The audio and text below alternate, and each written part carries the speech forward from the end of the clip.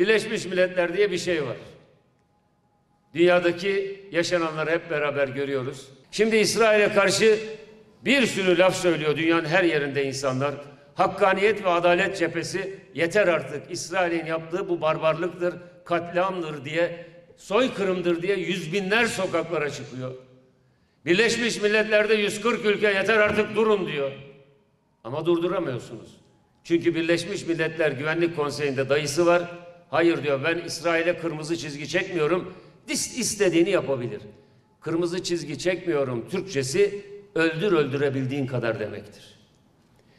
Böyle bir sistem yürümez.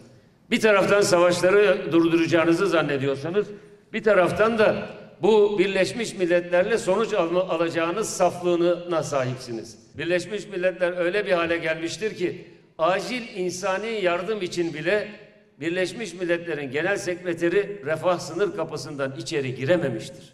Ne Birleşmiş Milletleri? Çöp tenekesine atılmış bir uluslararası kurumdan bahsediyoruz. Benim bildiğim İsrail'i durdurmak için yüzün üzerinde Birleşmiş Milletler kararı vardır.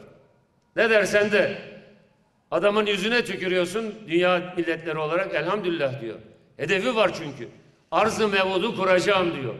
Nil'den Fırat'a kadar bütün bu bölge İsrail'in Siyonistlerin emrinde olacak. Buradaki bütün halklar da İsrail'in emrinde olacak. Ya hiç hepten oradan çıkacaklar ya da köle olmayı kabul edecekler.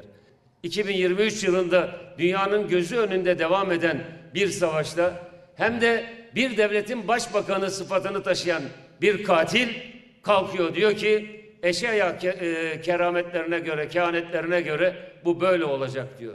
Yani kendisinin kutsal kitabından aldığı bir takım talimatları askeri stratejisinin merkezine koyuyor.